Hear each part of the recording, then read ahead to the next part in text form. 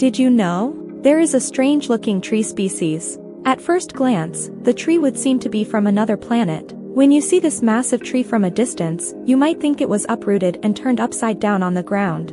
This strange-looking tree is known as the baobab tree. There are nine different types of baobab trees. Six of these are found only in Madagascar, two in Africa, and one in Australia. It grows in dry areas, which is why these trees store large amounts of water in their extraordinary trunks, which has made them giant.